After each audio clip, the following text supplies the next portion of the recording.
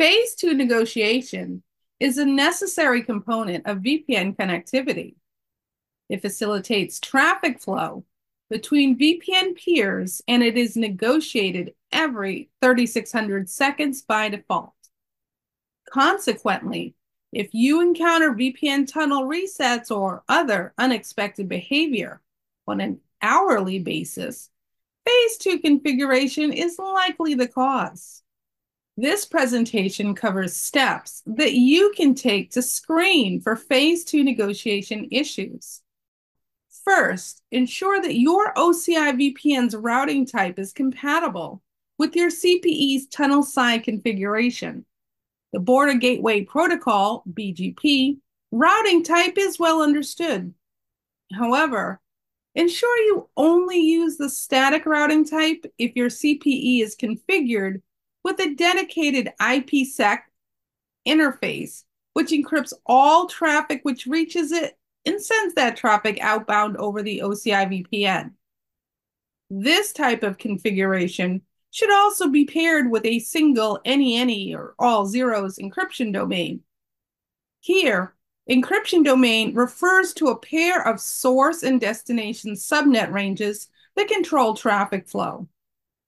Due to variances in terminology, vendors may refer to comparable settings using terms like access list, proxy ID, security association, security parameter index, or traffic selector. If instead your CPE employs a combination of policies combined with one or more subnet range specific encryption domains or equivalent, set your OCI side tunnel routing type to policy based. If you determine that your OCI side routing type should be changed to policy based, take the following actions. Access the OCI console using a web browser. Navigate to Networking, Customer Connectivity, Site to Site VPN. Use the compartment drop down menu to select the relevant compartment. Click the relevant OCI VPN connection. Click the OCI VPN tunnel click the tunnel's edit button. Click the policy based routing type button. Populate its associated on premises and Oracle CIDR block fields. Save your changes. OCI VPN Phase 2 issues may also stem from negotiation parameter configuration. To prevent such a problem, review the Phase 2 section of our supported IPsec parameters page. Compare the parameters which appear in this document with your CPE side tunnel config. Confirm your CPE only employs values that you find on this page. For best results, further ensure your CPE's encryption algorithm, authentication algorithm, and Diffie-Hellman group pass one and only one proposal each. Likewise, ensure your CPE's phase two lifetime is set to 3600 seconds.